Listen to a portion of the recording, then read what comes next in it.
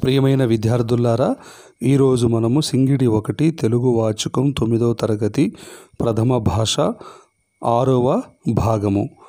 గత వీడియోలో ధర్మార్జునుడు పాఠానికి సంబంధించినటువంటి పద్యాలను మరి అనేక అంశాలుగా ఐదు భాగాలుగా తెలుసుకున్నాము. ఈరోజు మరి చివరిగా ఈ పాఠంలో ఉన్నటువంటి గ్రామర్కు సంబంధించిన విషయాలు మనం తెలుసుకుంటాము. మరొకసారి సింహాలోకనం చేసుకుంటే ధర్మార్జునులు అనే ఈ పాఠాన్ని చేమకూర వెంకట కవి అన్నటువంటి కవి రాశాడు. మరి ఈయన విజయ విలాసము అనే ప్రబంధాన్ని కూడా రాశాడు. పదిహేడవ శతాబ్దానికి చెందినటువంటి వాడు. ఈ పాఠంలో ప్రధానంగా మూడు విషయాలు మనం ప్రధానంగా తెలుసుకుంటాము. ఒకటి ధర్మరాజు యొక్క గుణగణాలు ధర్మరాజు పరిపాలించినటువంటి విధానము మరి అన్నాదమ్ముల యొక్క అనుబంధాల గురించి మనం చక్కగా వివరించబడ్డాయి. అదేవిధంగా మూడో అంశంగా అర్జునుడి యొక్క పరాక్రమాన్ని గురించి ఎంతో చక్కగా తెలుసుకున్నాము. ఇక ఈ పాఠంలో ఉన్నటువంటి వ్యాకరణ అంశాలు భాషాంశాలు పదజాల వినియోగము మరి ఇలాంటి విషయాలకు సంబంధించినటువంటి వ్యాకరణ అంశాలను మనం ఈ యొక్క పాఠంలో తెలుసుకోబోతూ ఉన్నాము. మరి విద్యార్థులారా జాగ్రత్తగా ఉన్నటువంటి అంశాలను పరిశీలిద్దాం. చూడండి ఈ క్రింది పదాలకు అర్థాలు రాస్తూ సొంత వాక్యాలను ప్రయోగించండి. చూడండి ఒకటి సోయగం. సోయగము అనే మాటకు అర్థం అందం. రాముని సోయగం అపూర్వమైనది అని సొంత వాక్యం చెప్పవచ్చు. ఏ ఊరు? ఏ ఊరు అంటే ఐదు మంది. పాండవులు ఏ ఊరు? వనవాసానికి వెళ్ళారు. వెగటు వైరస్యము అంటారు.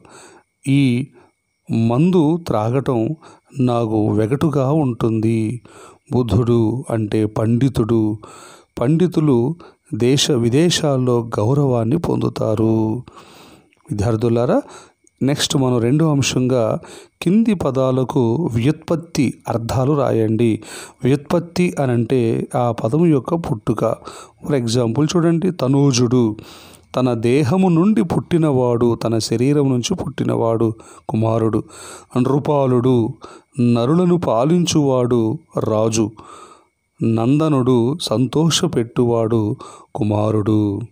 ఆ తర్వాత కింది పదాలకు పర్యాయ పదాలు రాయండి. పర్యాయ పదాలు చూడండి. క్షితి క్షితి అనే మాటకు భూమి ధరణి వసుధ అని చెప్పవచ్చు.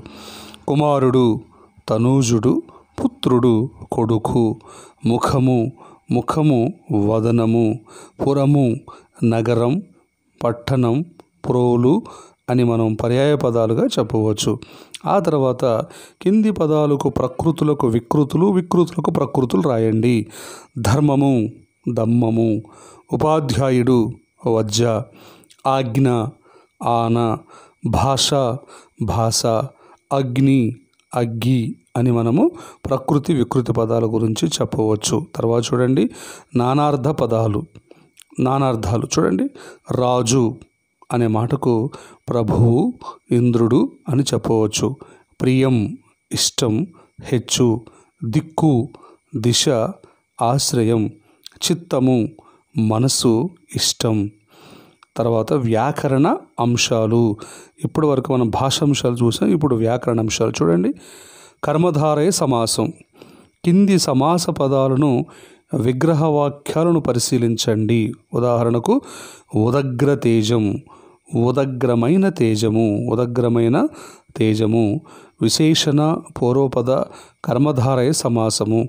విశేషణం పూర్వపదంగా ఉంది కాబట్టి ఇది విశేషణ పూర్వపద కర్మధారయ సమాసంగా చెప్పవచ్చు. తొల్లేటి రాజులు తొలి వారలైన రాజులు. అదేవిధంగా సకల జనములు సకలమైన జనములు విశేషణ పూర్వపదం. పరసేన వరమైన సేవ విశేషణ పూర్వపద కర్మధారయం.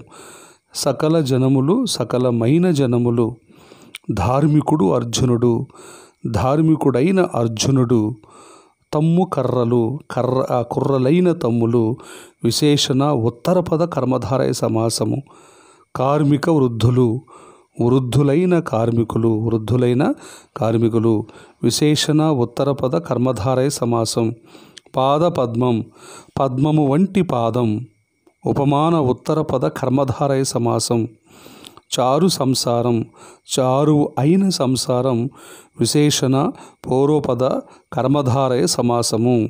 కాబట్టి ఇక్కడ మనకు మూడు అంశాలు మనం తెలుసుకున్నాము. ఒకటేమో విశేషణ పూర్వపద కర్మధారయ సమాసము. తర్వాత ఉపమాన ఉత్తరపద కర్మధారయ సమాసము. అదేవిధంగా విశేషణ ఉత్తరపద కర్మధారయ సమాసము. ఈ మూడు విషయాల గురించి మనం ఈ యొక్క పాఠంలో ఉన్నటువంటి సమాస పదాల్లో మనం చూసాము మరొకసారి చూడండి. విశేషణ పూర్వపద కర్మధారయ సమాసం. పై సమాసాలను మనం పరిశీలిస్తే సమాస పదాలలోని పూర్వపదాలు వరుసగా కొన్ని చూద్దాం. సకల ప్రియ ధార్మిక ఇలా కొన్ని పదాలు ఉన్నాయి. ఇవి విశేషణము అనగా గుణాలను తెలిపేవి. ఈ సమాస పదాలు విశేషణ విశేష్యాలతో ఏర్పడినవి. ఇట్లాంటి వాటిని కర్మధారయ సమాసాలు అని అంటారు. అంటే విశేషణం పూర్వపదంగా ఉండి ఉత్తర పదం నామవాచకంగా ఉంటే అది విశేషణ పూర్వపద కర్మధారయ సమాసంగా గుర్తించాలి. ఆ తర్వాత విశేషణ ఉత్తర పద కర్మధారయ సమాసం.